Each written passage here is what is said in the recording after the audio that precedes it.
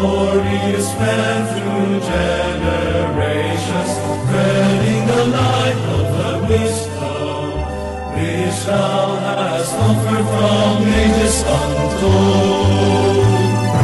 We want to thy vast light and be young men on God's design as channels of grace and beacons of light to read greatest ground. Always my faith in thee.